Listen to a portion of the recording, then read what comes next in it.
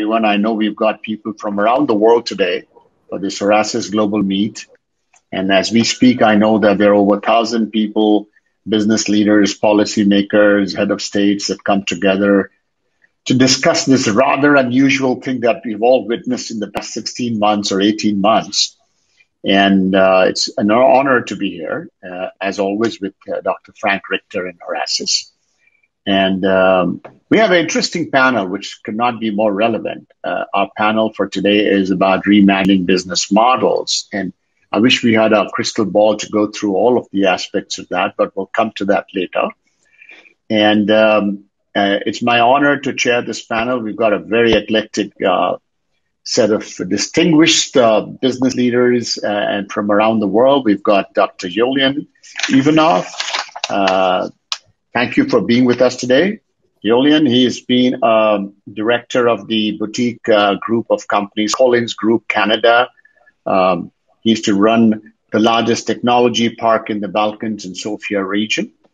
And uh, he's been an advisor to the Bank of America and Fidelity Investments and, bring, and brings uh, global enriching experience. So thank you for being with us, Yulian. It's my uh, pleasure. Uh, we have Jayanta Poddar from uh, Calcutta, India. He is the chairman managing director of Decorazzi Paints. So he brings a very different manufacturing perspective to this. Uh, very accomplished business executive for two and a half decades. Uh, started his entrepreneurial journey very recently and has been honored also by various forums as the India's most trusted CEO 2020. Uh, you bring some very innovative uh, ideas in your traditional line of business, so we'll, we'll come to that later. And of course, we have E, I think he's the most global yeah. uh, person from all. I mean, uh, the, the born in China, grew up in Canada, lived in uh, Europe, Germany. Germany. So, and, and, you know, living in Singapore. Um, you founded MarvelTec in 2017, I believe. Yes. And, and, uh, you've had 16 years of uh, Deutsche Telekom uh, experience and, and your company provides, uh, uh, telecommunication providers with kind of uh, international network demand uh, and facilitate operator partnerships across the entire Asia Pacific, right? So, and we have Jesper. Again, very eclectic perspective. Jesper is the CEO and co-founder of Soundboks Denmark, and it, it Soundboks works to create spaces of freedom for the youth, and and uh, through the power of music, through the power of uh, fans and was founded in 2015, right? And so, and uh, Soundboks is about 80 employees as of now and sells across all of US and uh, the uh, EU. So thank you for being with us. Thanks for we having get me. on with, uh, with uh, Yulian. Uh, so Yulian, just a teaser thing from me, from my perspective, we are going to discuss how do we go from, you know, surviving to thriving in this COVID. And, and I have two very teaser thoughts and then we get on to the questions. One is, you know, I have never seen disruptions all across as I, we've all seen. So the markets have changed. The supply chain has changed or disrupted.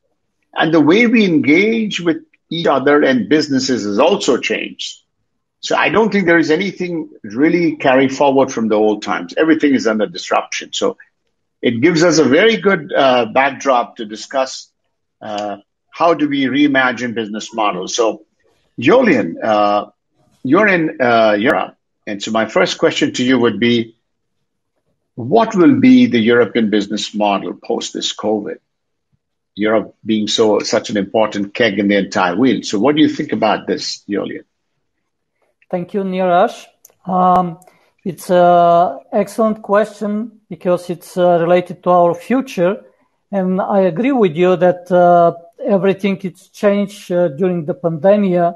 But I believe on the basis of uh, innovation, new services, transforming uh, the, the, life, we can succeed. And uh, speaking for for Europe, as I mentioned during the preliminary conversation, uh, one of the priorities, is a Green Deal. Therefore, uh, speaking about uh, the importance of the health, healthcare, and the Green Deal, this is uh, going for better humanity. Therefore, using uh, forces to, of change as a technology, democratization, and power of the uh, pool in order to, to use the capacity of the human being, I believe the humanity will be based on the human resources for the future. Therefore, how long we use the potential of everyone for the good to motivate, to create, uh, should be a better transformation for all of us. And as I said, the innovation is uh, bringing a new technology, new products, uh, even for the uh, environment issue and for the uh, Green Deal in Europe. It's important to, to use all the natural resources to have the e-mobility transition for the better life, which will bring uh, economic growth for the future. On the other side, there's a lot of changes in the healthcare system. It's amazing how during the pandemic uh, we succeed uh, to have vaccine and to motivate the people to go in the right way. We still have to improve the communication with the people. Therefore, innovation communication and democratization should be a part of our future. This is briefly for the beginning. Thank you. Thank you, Julian. That is a good point. We will address and come back to the three words you use innovation and uh, the communication and democratization, as you say. It's a three pillars of what you think will be. So I'll get back to you with another question. Right now, I want to move on to Jayanta Poddar. So, Jayanta, uh, are there any business risks in this reimagination model? Uh, you know what we are talking about, and if yes, uh, what are these risks that we are talking about? Okay, thanks, thank you, Niraj. Uh, thanks a lot. Uh, uh, definitely, you know, when we are talking about reimagining business model, basically it's a new business model. what you have been doing for so long, you are changing that business model. So certainly there are risks involved uh, but that doesn't mean that we will not reimagining or we will not change it. So we need to tackle those risks. Now, uh, Uh, the risk depends on a business to business, whether you are in, you know, uh, in the service industry, whether you are in a manufacturing industry. It all depends. You know, uh, they're having a, a, a very different issues. But if you look at overall, there are a few common risks. What are those common risks? So there are two, three very important common risks number one, what is the most important risk in my view? That is the you know impact of your debtors. Means you know when are you changing the business model?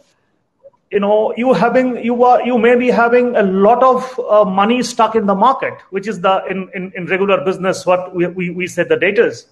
Now, once uh, the your business partner, if they uh, understand, or if your new business model is such where you are avoiding the existing business partners, then it may be a very difficult task to recover those money from the market. It's it's a very difficult task, irrespective of whether you are in you know Asia, whether it is in Europe, where you know wherever you are, because the stakeholders, if they they think that they are not with you, then then the, your money is stuck, and there could be a huge monetary loss. So that is the most important part far as the business risk is concerned uh, when you are changing the business model. Point number one. Point number two, any social impact. When I think in a social impact, now when are you changing your model? Then the the important is that how you are perceived by your customer.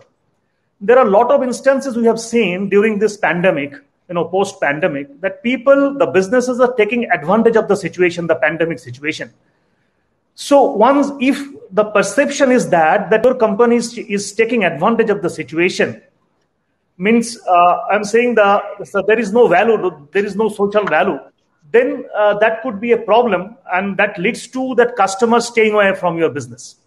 So you must have must have must be maintaining the social values what what what you have been maintaining so far. And third, important point and another most important point is is there any impact on environment for example let's say you know in today's business for example a food business you know food delivery business you are delivering food uh, you know household what kind of packaging you are using Is it you know biodegradable packaging or if it, if it is not? Is it adding to uh, the environmental hazards or if it is not? Are you adding you know the carbon footprint? Are you taking care of carbon footprint when you are changing the uh, business model? So this is comes under your environmental impact. So if you are talking about the business risk, the, there are three important risks common to all business. One is the impact of debtors, second is impact of social impact, and third is your environmental impact. This is the business risk. Thank you, Jayant. I think you drew some very good good points on that. Uh, I like the uh, what is the customer perceive about you? Are you been credible in this pandemic, or are you or you maximize your profits doing that, or change whatever? So we'll come back to that later. Thank you for your uh, opening uh, teaser points. I go to Jesper. Um, very different business model. Uh, you sell a very very uh, different social product in the form of a speaker, right? And and so and in this uh, lockdown, whatever how has your business changed in the past 12 months uh, when people are not able to meet uh, in person, right? Uh, and and how that's a major change. It's one of the biggest change we've seen in the world. No, and I think I think it's been a, a difficult time for us. I mean, the Soundboks was in, in, invented as sort of the perfect speaker to bring to a festival. So, in essence, a gathering of hundred thousand people, and I don't think there's been I don't think we've ever been further from that than we have been in, in, in the past 12 months. So, so to be honest, when the pandemic hit, we were sort of scared about how it would affect us.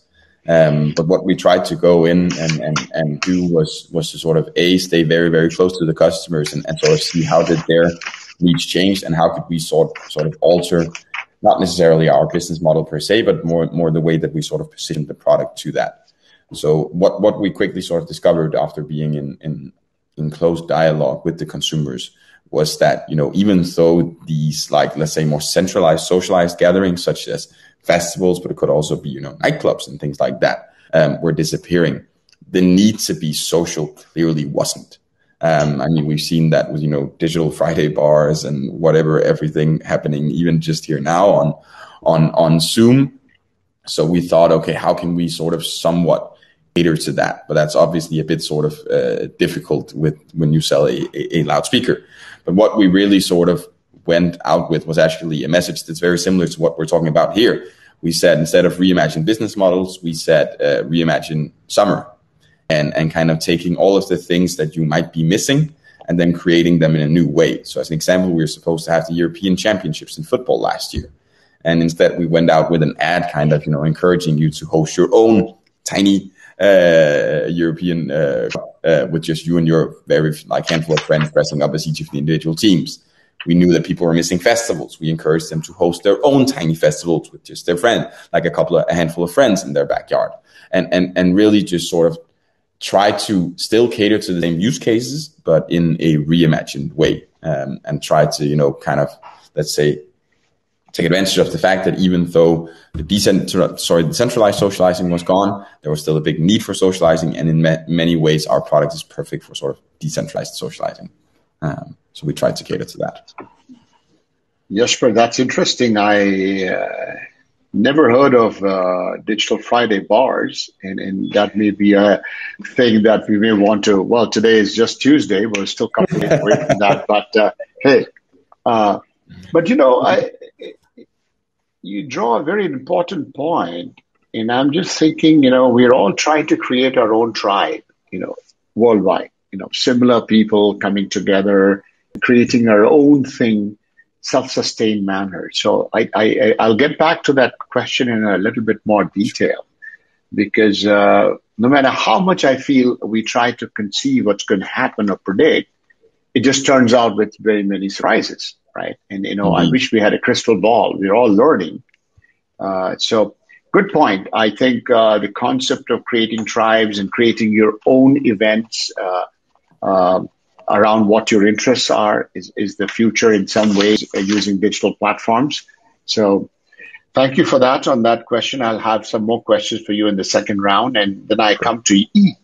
Um, uh, what are the key changes that you have observed uh, since COVID, which is driven by technology because you're a telecommunication, telecom, Deutsche, MarvelTec. So, what are the changes you've seen that has been driven and forced by technology? Uh, if you may want to start with that. Thanks, Niraj. It's a very good question. Yeah. In general, I think uh, COVID does not uh, change the way how customer behavior or our way of working is evolving.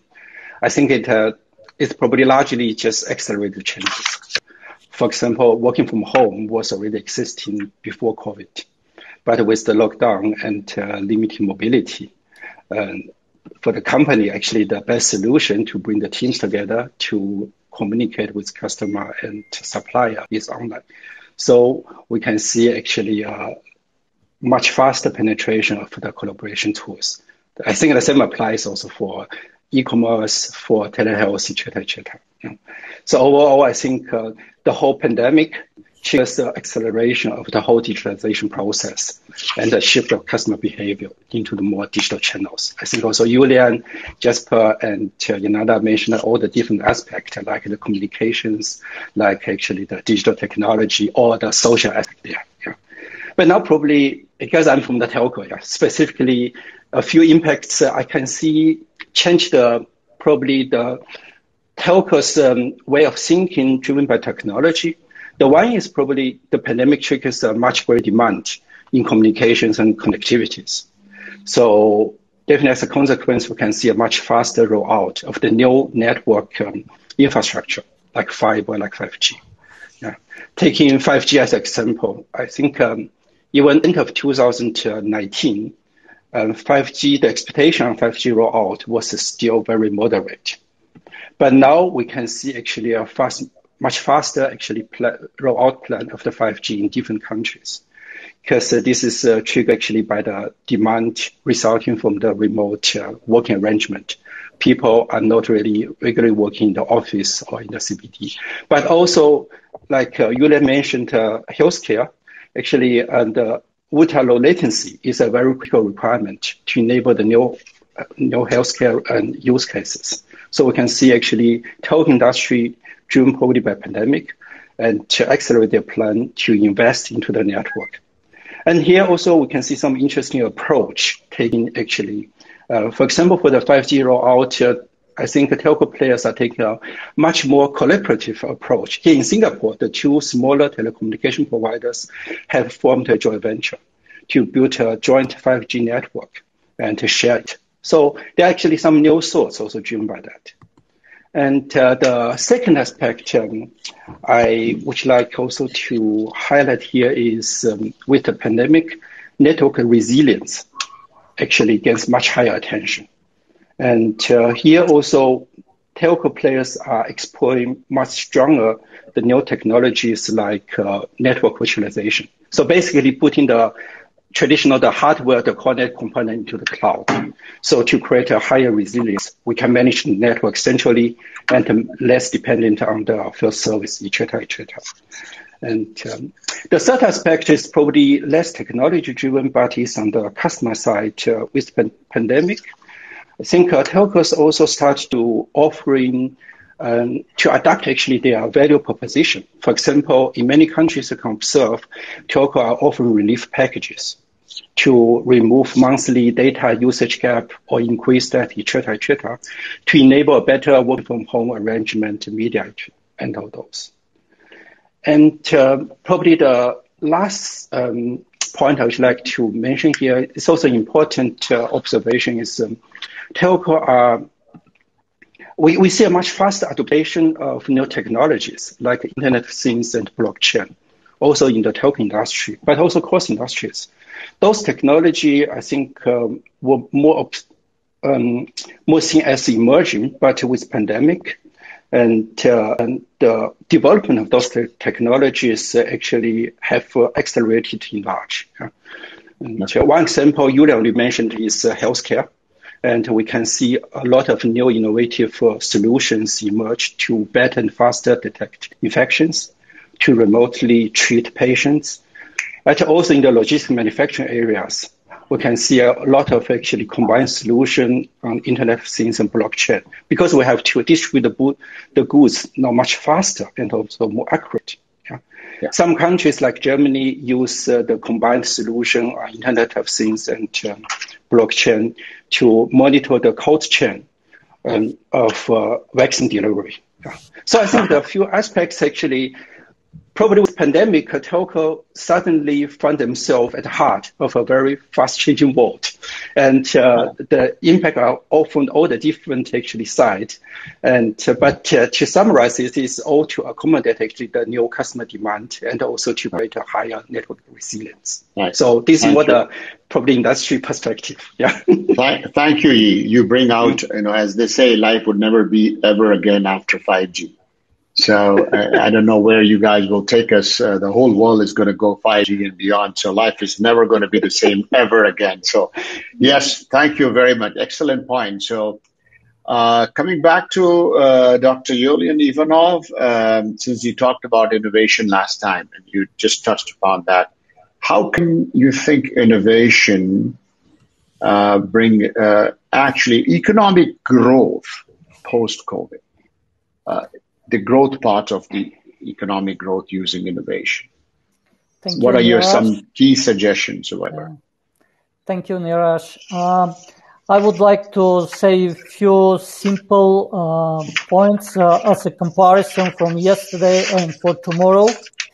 If we start with uh, what uh, mentioned E regarding the 5 technology, it's already in place uh, in most of the countries in Europe and it's going directly to change the, the thinking to rethink the work and how to implement the data in the, the daily life.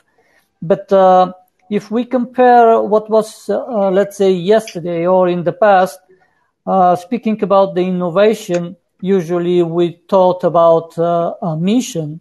And speaking about for the future, we have to speak about purpose. Therefore, to be more efficient, and to speak from the mission to the purpose. Uh, again, speaking what was uh, in the past, uh, we had the linear um, uh, understanding of the business models. For the future, in order to, to be more innovative, we have to take exponential uh, development and exponential uh, way of design. On the other side, uh, if we had in the past uh, to add uh, digital, digital skills, digital implication, mm, for the future, we have to put uh, digital as on the first place. Uh, speaking about the scalable efficiency in the past, we have to speak about scalable learning. Again, if we compare what was in the past, uh, we were thinking about the assets. For the future, it's better to speak for the crowd or how to take a decision. In the past, sometimes we took as a ad hoc, but for the future, on the base of uh, artificial intelligence, uh, we can think for algorithm. And this can uh, be um, on the comparison of this different approaches, we can uh, rethink our daily work. Re-engineering and redesigning the work through technology reshapes every job. And uh, therefore, uh, speaking on the individual implication, it's better first to engage in lifelong learning or shape your own career path. Or on the third place, I can say pursue and cultivate the passion. On an institutional implication, it's better to redesign the work for technology and uh, learning or to source and integrate the talent across the network. I already said how important should be the human human resources for the future. Therefore, to implement new business practices and models uh, should be in place through the right communication and through the right way of doing business. Speaking about the public policy implications, it's better to reimagine uh, lifelong education. the education nowadays it's uh, going to be on a crucial point for the development of the human resources and to, to have uh, economic growth. Therefore, the transition support for the income and uh, the healthcare, it's again on the base of innovation. And uh, the, the last but not the less, it's uh, to uh, to have the legal reg- regulatory policies in place again through the right uh, communication and database. Thank you, uh, thank you, uh, Yoli. I think uh, I, as we move forward into the knowledge, knowledge, more deeper knowledge economy, I, I think our our need to retool ourselves to begin with, always. And, and also the entire nation and the young millennial across is going to be a huge, huge task because the mindset is wired differently. And the change is so rapid, it sometimes becomes very difficult to adapt to it and accept that this is going to happen. So uh, I'll, I'll come back to you with your key takeaway points later. Back to Jayanta. And I know that uh, you know, as we talk about the reimagining uh, of the business model, uh, I don't think it means only digital transformation uh, or, or, changes around digital transformation. It is beyond that. If, if so, if you could throw lights beyond the digital transformation uh, as part of this reimagining the business model, that'll be very nice. If you can uh, talk something about that part. Well, well, Niraj uh, you were right. When uh, most of the people, most of us, when they're talking about uh, reimagining the business model or we talk, talk about digital transformation, uh, most of us thinks that it is a technology. We, we only talk about technology, right? But it is not really technology. Technology is definitely the most important part of the transformation. In today's world, it's all about technology. Tomorrow is technology only. But that is though I, as I said, it is the main part of the uh, uh, the new business model. But your main thing, the entire business will be, you know, standing on three most important thing. One is the infrastructure. Second is your uh, your business operation itself, the business orientation, and third most important thing is your customer experience.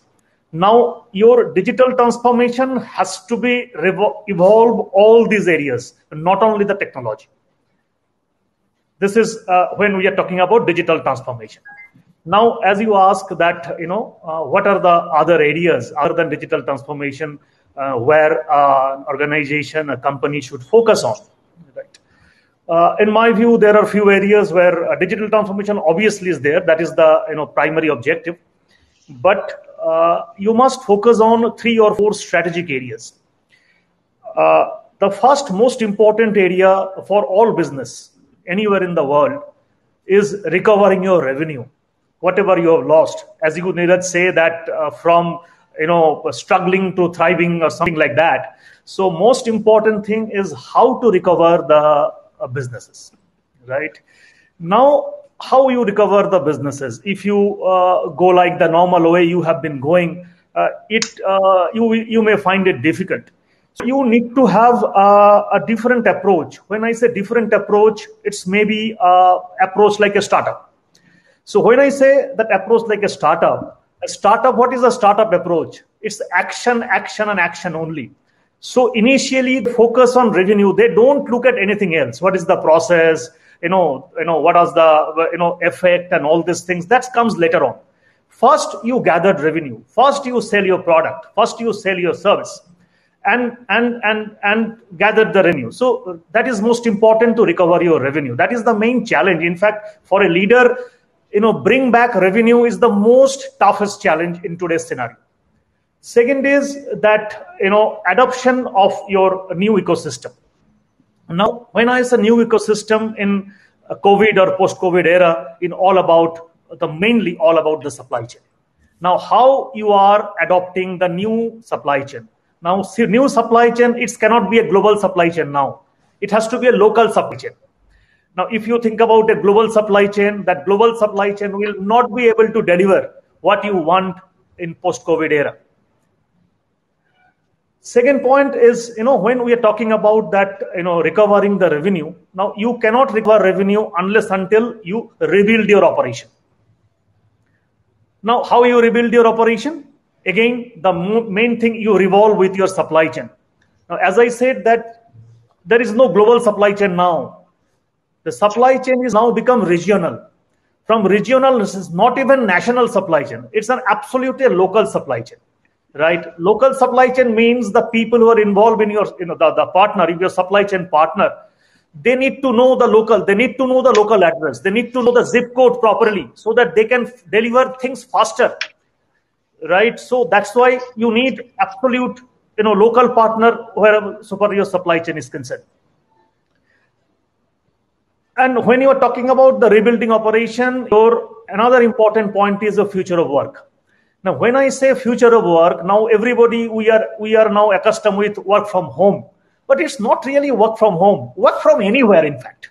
Why home? Basically, you're talking about work remotely, working remotely. You are adding value. You are doing whatever you want to do, whatever you are supposed to do, working remotely. It may not be necessary from work from home. And today's scenario, if you take the statistics, in case of the sales also, almost the you know the same percentage of people they are saying that they have not, not lost any business working remotely. They are able to connect with their customer and able to deliver the result to their company. So this is we are talking about rebuilding operation. Now, when you are talking about rebuilding, I am going backward basically. Then how you can rebuild operation? To rebuild operation, you have to rebuild your organization. Now, when you are changing a business model, means you are changing everything. Your organization, entire process, starting from people, your HR, your manufacturing, everything is depends on your business model, how you are selling your product, right? Everything, everything evolves on that. Your system, process, entire infrastructure of the company, everything depends on that. Now, when you are changing that, when you are reimagining that, so you have to reimagining everything. You have to get everything around that business model, surrounding this business model. So that is most, unless until we need to do that, then whatever good your business model is, if your organization is not supporting that business model, if you are not able to rethink your your organization, you have to rethink your organization, your business model, your your reimagining of business model will not be any help. And lastly, obviously, the digitization, you have to accelerate it. You have to accelerate it to to whatever uh, you know uh, you know way you can do it. Now it's that there is no time that okay fine we will wait we will see. Today there is no time of waiting there is no time of seeing. You have to accelerate everything to get the desired result. So if you ask me to summarize it that what are the other way of digitization to what are the uh, other areas most important strategic areas i would say it's recovering your revenue you're rebuilding your operation rethinking your organization and accelerate your digital transformation. That's all. Okay. Thank you, Jayanta, because uh, I think uh, you reminded us all that not all of us uh, in, are in the business of technology. We use technology for our businesses. Otherwise, there's a very clear, oh, everything is about, yes, you adapt technology to. I, I think I can see your entrepreneurship come across because you're talking about real hands-on challenges as we face today. And it's not out of a business school model. It's what you experience. Thank you for bringing that insight. Uh, let me get to Jesper. Uh, and, you know, one of the biggest uh, survey that people might want to have and pay for would be um, how has the consumer behavior changed since the pandemic came over last year in, in March. Uh, you know, because that's that is key to the entire world that we are talking about. What are the changes you see, Jesper? Absolutely. And how it impacts. No, sure. And I think, I think, I mean, I think there's many ways that consumer behavior has changed. I think we've just touched upon it in, in some ways, of course, of like e-commerce has gone up and and in general, sort of, yeah, everything online has gone up. But what I think is more interesting to look at, and what I think we have to be aware of, is sort of more, let's say, the, the spending patterns of, of, of consumers. Because I think in general, when sort of COVID hit last year, everyone was scared that the economy was going to go to shit. Um, so so people stopped spending. Um, a lot of people lost their jobs. um, then we started like practically all governments started running a super like expensive fiscal policy and started pumping stimulus out, which meant that a lot more people could keep their jobs and got got their jobs, and and uh, like basically the markets went up, and and also people just got stimulus checks. And I think that combined with the fact that they were staying home and basically like didn't use their discretionary spend for what they would regularly spend their discretionary spend on, which was you know restaurants, traveling, all that kind of stuff, led them led to in pretty significant increase in in a lot of sort of other you know spend and that be everything from remodeling of home to consumer electronics, where we've seen a massive increase in um, in demand simply because people have had you know excess money to spend and have wanted to have some fun at home. Um, and I think what's going to be really interesting to see is sort of how will that change now that sort of let's say COVID is is is hopefully nearing its end, at least as a as a global pandemic kind of thing, and and thereby also that the stimulus ends, and and and also with the markets doing what what what they do right now, and I think we might be in many businesses seeing sort of let's say like being in somewhat of an artificial demand bubble right now, and and and I don't know how that's going to change in the coming six or twelve months. Okay, thank you, Jesper. I think that's important uh, to try and get an idea of what's going to happen because all our business model that we are trying to rebuild or reimagine is about a forecasted consumer behavior mm. of supply demand and how will that work. Um, uh, uh, let me get back to Yi, and um, you know, uh, because we have just about seven eight minutes so we'll i'll, I'll two minutes of your response then we get back to some key takeaways and we close that so um, how do you see the post uh, the future development post this pandemic we're going to see the long tail of the pandemic uh, what are the long lasting impacts in your telecommunication industry i'm talking beyond covid and going long term what could be our uh, long-term impact if you see? And thanks, Larry. This is um, actually a very good question.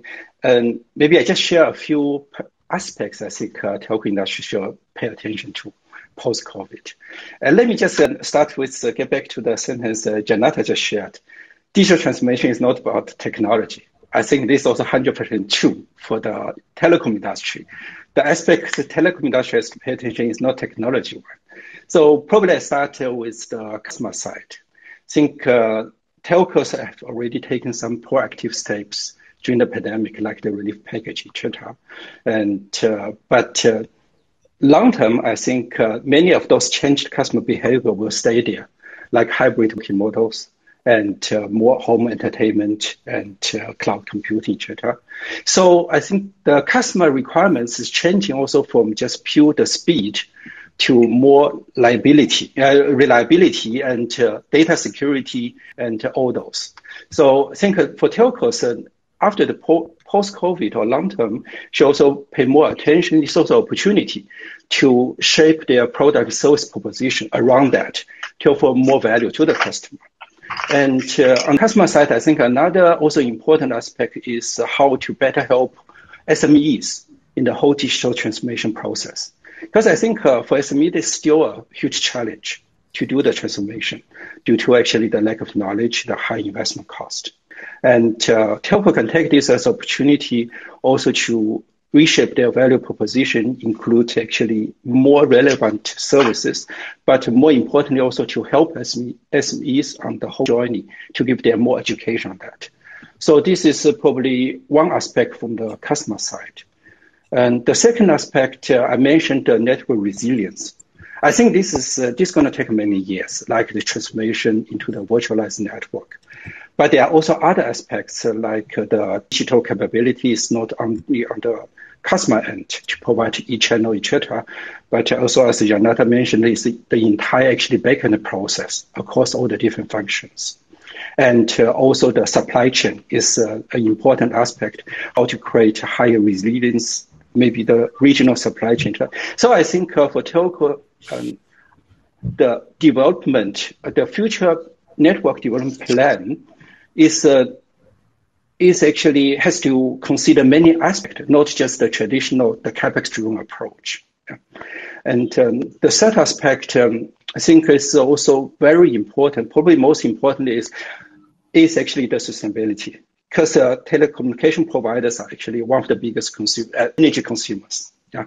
And now with all those accelerated network rollout and also more demand at the data center, I think telco players can play a very, very key role to shape and also to drive the green energy, the innovations. Yeah.